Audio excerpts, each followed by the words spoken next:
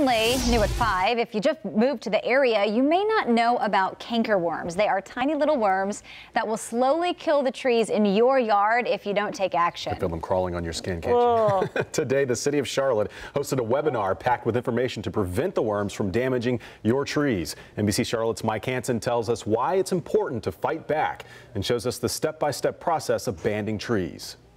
This is the one that's really the pest in Charlotte. The city of Charlotte hosting a webinar today, giving out important information to fight back against the cankerworm. They can destroy the tree bit by bit. So it's very important. Soon the females will climb up the trunk of a tree near you and lay eggs on the twigs.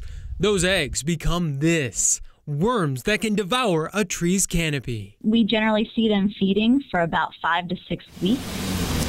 At Blackhawk Hardware and others, you can find what you need to band your trees. We fully stopped. The steps are easy. Wrap the tree in insulation. Place tar paper around the trunk chest high and make a 3-inch band all the way around as seen in this video.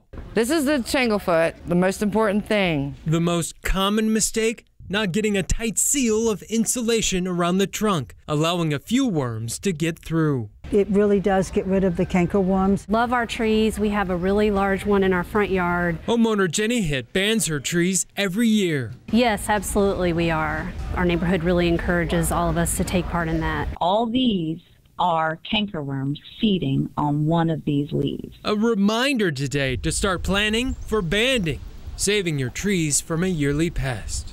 So when should homeowners start to ban their trees? Tree experts say the first week of November.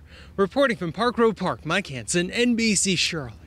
And the tree experts say the trees are damaged because the new leaves cannot get enough sunlight to properly feed the trees. The tree can die from cankerworm damage in just five years. Important information out there. Yeah, definitely.